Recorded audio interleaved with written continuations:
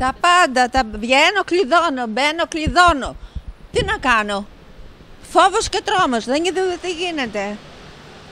Ε, έχουμε καταντήσει ζούγκλα. Καθημερινά σε όλη την Πάτρα καταγράφονται πλέον διαρρήξεις και κλοπές από δράστες που κυριολεκτικά έχουν αποδρασινθεί, απασχολώντας την αστυνομία κάθε λίγο και λιγάκι σε συνοικίες όπως τα Ζαρουχλέικα, Άγιος Ιωάννης Πράτσικας, σε Γλυκάδα, Αγιά και Παραλία. Μια φορά ήρθαν πουλάγανε βιβλία, δεν τους άνοιξα την πόρτα όμως. Φύγανε. Φοβάστε, είστε Ω, βέβαια φοβάμαι. Βέβαια και φοβάμαι. Για να μην φοβάσαι τώρα. Να πάνε ότι έχω δεν με νοιάζει. Αλλά άμα με ρίχνει και σπέσω κανένα πόδι.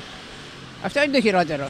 Διπλοκλειδονιές και μπάρες. Στο κέντρο άμεσης δράσης τα τηλέφωνα έχουν πάρει φωτιά. Καταγγελίες για κλοπές και διαρρήξεις έχουν καθημερινά την τιμητική τους. Μάλιστα, σε κάποιες περιπτώσεις, οι δράστες μπαίνουν στα σπίτια, παίρνουν ό,τι μπορούν, αδειάζουν τσάντες και πετούν τα άχρηστα αντικείμενα στο δρόμο. Άμα υπάρχει φτώχεια, υπάρχει και εύκολο κέρδος. Μπήκανε μέσα το απόγευμα, κιόλας. η μέρα, με, η μέρα μεσημέρι λοιπόν και μπήκανε μέσα και μας κλέψαν. Δεν βάρκες. Τι να κάνουμε; Είμαι παθών; Μέσα σε ένα φαρμακείο είχα αφήσει το τσαντάκι μου για να πάω να κάνω μία έναση.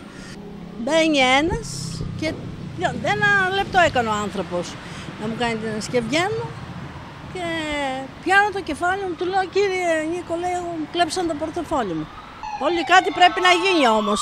Τώρα, οι περιπτώσεις των κλοπών και διαρρήξεων είναι δεκάδες καθημερινά. Γι' αυτό και οι αρχές συνιστούν προσοχή σε ανοιχτά παράθυρα ή πόρτες λόγω του καλοκαιριού και άμεση ειδοποίηση της αστυνομίας αν κάποιος διαπιστώσει ύποπτη κίνηση ατόμων.